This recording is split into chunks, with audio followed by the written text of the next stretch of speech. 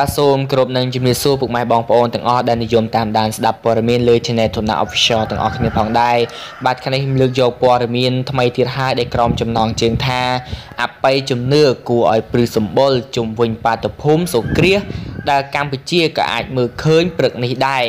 បាទមុននឹងចូលស្ដាប់អត្ថបទព័ត៌មានសូមពុកម៉ែបងប្អូនចូលរួមចុច Subscribe និងចុចសញ្ញាកណ្ដឹងដើម្បីទទួលបានព័ត៌មានថ្មីៗជារៀងរាល់ថ្ងៃ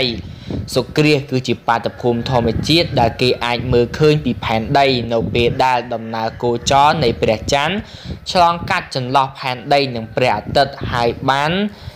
រាំងពន្លឺព្រះអាទិត្យយូរយូរម្ដងមនុស្សជាតិអាចមើលឃើញច្បាស់ឬឃើញបន្តិចបន្តួចនៅតាមតំបន់ឬប្រទេសនានា ប្រទេសកម្ពុជាយើង ត្រូវគេមើលឃើញបាតុភូមិសុគ្រាសនៅថ្ងៃពហុទី26ខែធ្នូឆ្នាំ2019វេលាម៉ោង10:31នាទីព្រឹកនេះពាក់ព័ន្ធនឹងជំនឿបាតុភូមិនេះត្រូវបានគេយល់ឃើញផ្សេងផ្សេងគ្នាតាមតំបន់ដូចខាងក្រោមតារាវិទូ និងជាប្រធានមន្ទីរស៊ើបអង្កេតរដ្ឋសហ រដ្ឋអាមេរិកបានសរសេរក្នុងសៀវភៅអំឡុងក្នុងបាតុភូមិព្រះអាទិត្យនាំមនុស្សលោកទៅកាន់ភាពងងឹតបែបនេះគេមានជំនឿថា តំបន់នោះនឹងកើតមានភាវកម្មដំណាំធ្លាក់ទិន្នផលនឹងកើតគ្រោះមហន្តរាយនិងគ្រោះធម្មជាតិផ្សេងផ្សេងជំនឿដ៏ពេញនិយមនេះបាទសំទោសជំនឿដល់ ពេញនិយមមួយបាននិយាយថាសុគ្រាសនឹងនាំគ្រោះថ្នាក់ដល់ស្ត្រីកំពុងពោពោនិងកូនក្នុងផ្ទៃដែលពួកគេត្រូវសង្ងំនៅក្នុងផ្ទះអំឡុងមានសុគ្រាសឯស្ត្រីមានផ្ទៃពោះទាំងឡាយដែលគ្រងបង្កើតកូនដោយវះកាត់ត្រូវនាំគ្នាលើកពេលទាំងអស់ប្រជាជនចិនជឿថាមានគ្រោះធម្មជាតិ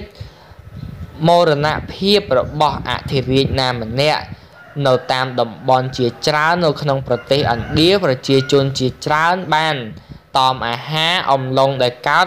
បាតុភូមិសុខបាតុភូមិខាងលើព្រោះពួកគេមានជំនឿថាអាហារដែលចំអិនទាំងអស់នឹងមានជាតិពុលនិងមិនបរិសុទ្ធជំនឿតតគ្នាមួយទៀតដែលគេតែងតែឮនៅក្នុង ប្រទេសនៅអាស៊ីគឺមានសុគ្រាជាពេលដែលពួកគេ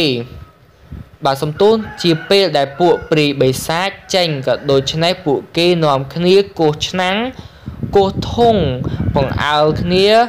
វាយសំឡេងខ្លាំងខ្លាំងដើម្បីការពារបិសាចឧបប្រពចង្រៃឲ្យចែកឲ្យឃ្លាតឆ្ងាយពីក្រុមគ្រួសាររបស់ពួកគេ តែប្រជាជនអ៊ីតាលីបានយល់ផ្ទុយខុសពីប្រទេសប៉ុន្មានខាងលើទៅវិញ ដោយគេមានជំនឿថាដាំផ្កាក្នុងអំឡុងមានសុគ្រាសនិងមានពណ៌ឆើតល្អជាងគេពេលដាំក្នុងពេលធម្មតាបាទសូមអរគុណសូមពុកម៉ែបងប្អូនចូលរួមចុច Subscribe និងចុចសញ្ញាកណ្ដឹងដើម្បីទទួលបានព័ត៌មានថ្មីៗជារៀងរាល់ថ្ងៃបាទសូមអរគុណសូមជម្រាបលា